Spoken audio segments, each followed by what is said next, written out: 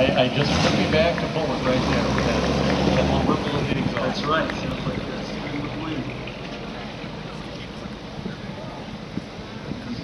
a Cougar here.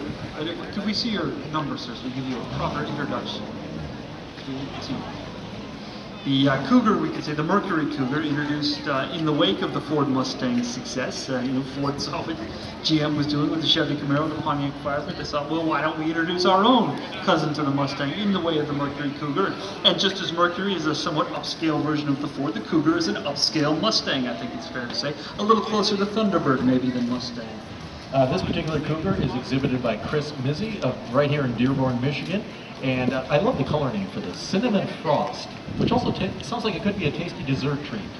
I would, I would like cinnamon frosting now that you say that, but yes, it's a, a wonderful name. And this is a car that kind of bridges the gap, as we say, between the Mustang Performance and the Thunderbird Luxury. So more refined, a little more livable, shall we say.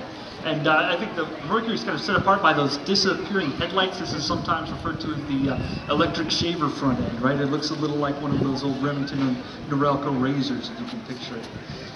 And I think uh, this didn't, didn't, Larry Tate on Bewitched drive a Cougar uh, during during his tenure on the show. I think that might be the case here. I believe he did, an important point. Uh, wraparound front and rear fenders on the car here as well, triple taillights with sequential turn signals, which we had talked about earlier.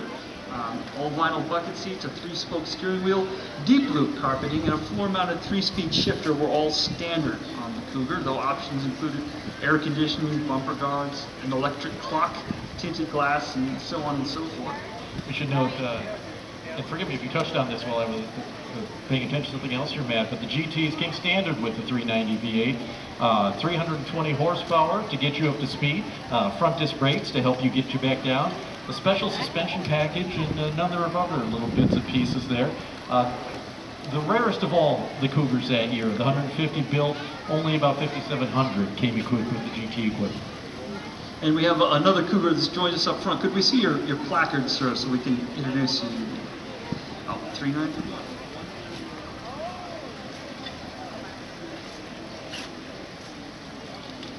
390? 68 Mercury Cougar brought to us by Mark and Judy Kolwick of Wolverine Lake, Michigan. And uh, again, just uh, shows you so the change to the, the Cougar over the model years there. And for 68, the biggest change was the addition of side marker lamps. And, and this is something that becomes important in the mid, especially into the late 60s. Safety appliances on automobiles, whether they're lamps, lights, or, or seat belts for that matter. And it's kind of shocking how, how late it was before safety became a serious concern in, in the automotive industry, or frankly in Washington, D.C., which ultimately stepped in and set some of these regulations. But 1968 was really yeah. the threshold. The automakers had to have a whole host of uh, standards in place, you know, different things from protrusions on dashboards to uh, collapsible steering columns to any number of things that in some cases require really some major engineering work uh, to make cars comply.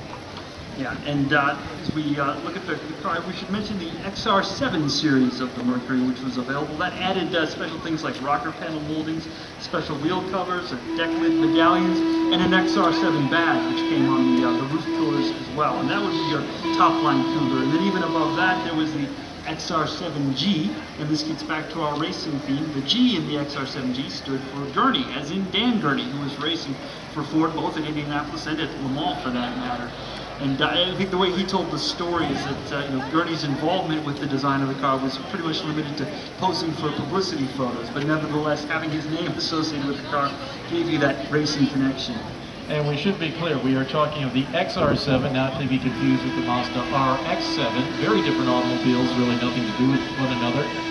And the racing uh, series was the Trans Am racing. It wasn't just racing for Pontiac Trans Ams, it was a series really for all pony cars uh, in competition with one another. That's right, that's right. The Trans Am series springs out of the popularity of the, the pony cars. So, wonderful. Two beautiful examples here with these Cougars. Thank you. A couple of cool cats.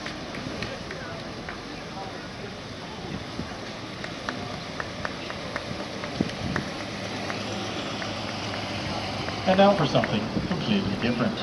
I sure could use some fancy French mustard. I wonder where I might find